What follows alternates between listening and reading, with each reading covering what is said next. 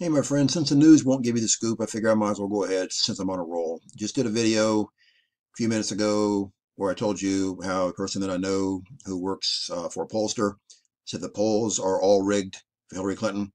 Also, have a friend who works for a huge news organization, huge media organization. I know a lot of people. I'm very well connected.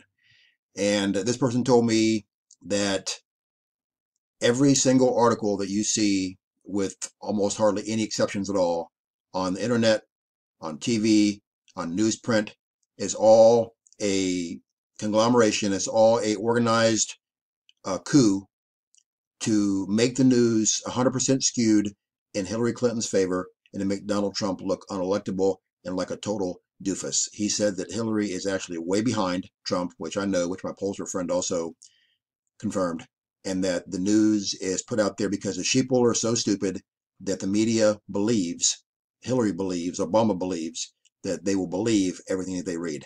So you believe what you want to believe, whatever you believe you want to believe. All I can do is warn you and tell you what's going on and give you heads up for what's happening.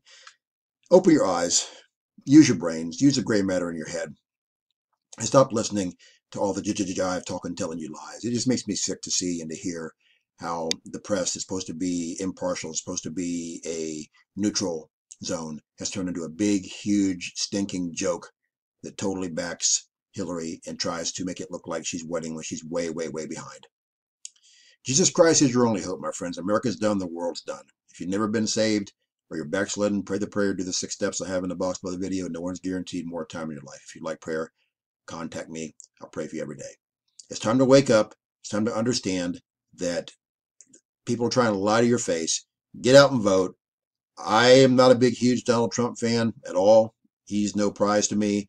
He's a billion times better than Hillary Rodham Clinton, who to me is one of the worst human beings on the face of the planet, along with her boss, her puppet master, Barack Hussein Obama, who's the worst of the worst. You guys take care of yourselves. And, and, and again, share this because I'm sure it's going to get censored big time because they don't want this word getting out. Take care. Bye.